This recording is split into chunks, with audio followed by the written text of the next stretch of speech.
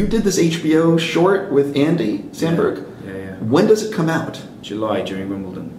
I Uh, get to see it. I'm actually I'm traveling to New York tomorrow, and they're going to do a little screening for me. I haven't seen it yet. I love. I've been a fan of Andy's for a long time, Yeah. and I love Brooklyn Nine Nine. I Mhm. think the show is easily one of the best things on TV. Yeah. Uh, so I'm dying to see this. What can you tease people about it? And what was it like making it? It's you know I I love comedy, and I always wanted to do comedy, but I I worked out recently that my type of comedy that I want to perform in is not prosaic rom com classic kind of high school comedy. It's really farcical, stupid Andy Samberg Saturday Night Live comedy, and and this is very much in that vein. It's um, about a tennis match that goes on for seven days.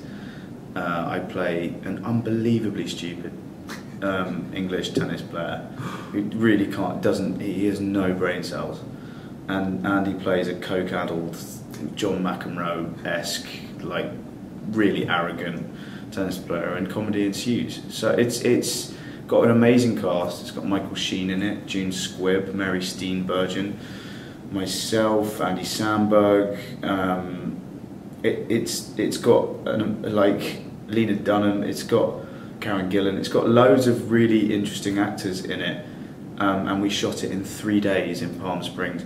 We shot it in less time than it's set over, which is something I've ne- never really. You did the whole thing in three days. we did three days. Yeah. How long is the? Is it? How long is it? forty-five minutes. Wow. Yeah, yeah, yeah. It was intense. It was really intense. So these are like 16-hour days.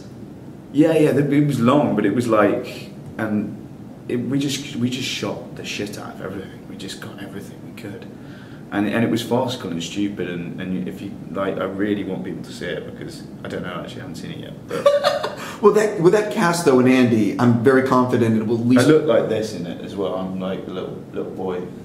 Uh, was it one of those things where they contacted you or gave you the script, or was it one of these things where you like Andy's involved? I have to do this. They sent me the script. I was in LA, and they said, "Could you do this? You know, we, we'd love to do this. We'd love to shoot it soon."